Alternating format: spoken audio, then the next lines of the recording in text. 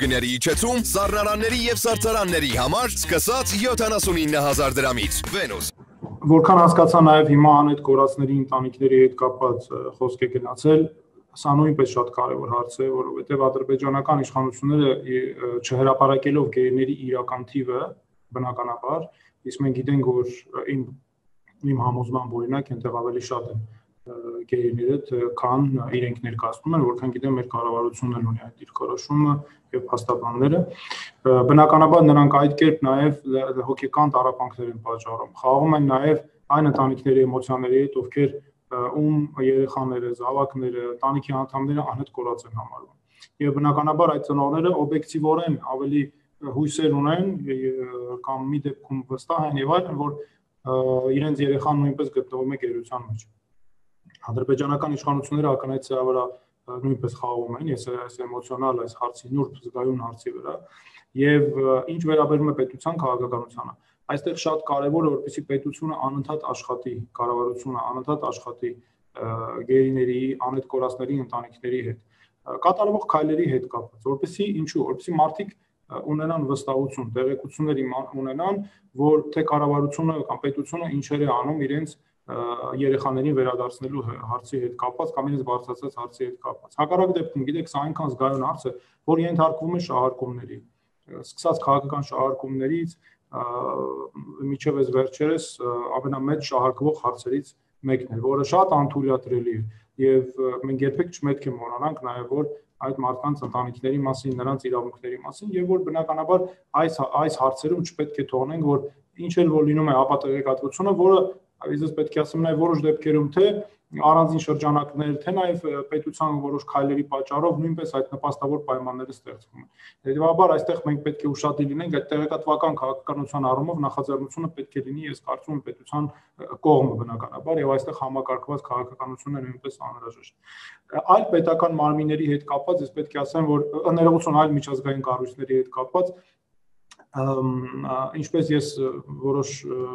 չափով այս մասին խոսեցի, այո, այստեղ շատ փոխադարձ կապի մեջ են գտնվում։ Մարդու իրավունքների եվրոպական դատարանում եւ Եվրոպայի խորհրդի մարմինները մարասարախ կատարվող գործընթացները եւ այլ կառույցներում, օրինակ եթե միջկառավարականներն ենք վերցնում ՄԱԿ-ում եւ այլ կազմակերպություններում, դրանք իրար հետ ուղիղ կապված են։ Նույն օրինակ եւ այստեղ սրանցից անընդհատ իրենց այսպես կեղծ այդ խաղաղասիրական հայտկապես նպատակներ ունենալով ադրբեջանական իշխանություններն են փորձում օգտագործել եւ այո ամբողջ այդ պատերազմական հանցագործությունները կատարված հայելային տրամաբանությամբ փորձել դնել Հայաստանի վրա նաև։ Եվ գիտեք,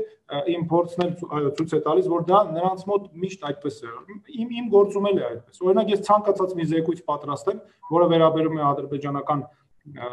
իշխանությունների կողմից ատելությանը, պատերազմական հանցագործությունների կատարմանը զինված ուժերի կողմից նույնը իրենց երկրի օմբուդսմանը մեկ էլ մի շաբաթ հետո 10 օր հետո ստանում ենք գրեթե նույն զեկույցը բայց գիտեք այստեղ մի օրինակ ես անցյալ շաբաթ եւ Եվրոպայի խորհրդում ինձ այդ հացը առաջադրեցին նույն այդ զեկույցները բայց այստեղ շատ կարևոր տարբերություն կա որը մենք պետք է ցույց տանք Ադրբեջանում այդ այս պատերազմական հանցագործությունները դրանք կազմակերպված պետական քաղաքականության հետևանքները կամ մասերն են, որը ատելության այդ քարոզի հետևանքն է։ Մեզ մոտ այդ կազմակերպվածության գործոնը երբեք չի եղել եւ մենք չենք էլ ունեցել դա։ Հետևաբար անգամ եթե օրինակ 1-2 արարք եւ այլն իրենք կարողանում են կամ ներկայացնում են ինչ որ հայելային, դա բոլորովին այլ տիրույթում է, մենք չպետք է թույլ տանք, որ իրենք մանիպուլացնեն։ Եվ իհարկե ես պետք է ասեմ, որ մենք համագործակցում ենք մեր դիվանագիտական առաքելությունների հետ արտերկրում բավականին արդյունավետ այդ հումապացություններ դրամատրելով եւ գիտեք այ կատարվող աշխատանքը իրականում տասնապատիկ ավելին է ինչ երևում է եւ դա բնական է որովհետեւ գեյների հարցը հենց այդպես էլ է ցավոք մի բան պետք է ասել միջազգային անարդյունավետ այստեղ միջոցներ կան որոնք գեյների իրավունքների պաշտպանության առումով արդյունավետ չեն օրինակ տեսեք մենք այստեղ ունենք ինչ մենակ ունենք Կարմիր խաչի հաստատությունը որը նա ժամանակ առ ժամանակ այցելում է հա մենք գնահատում ենք մեր գործընկերներին եւ դա կարեւոր է բայց եթե մենք վերցնում ենք օրինակ այլ միջազգային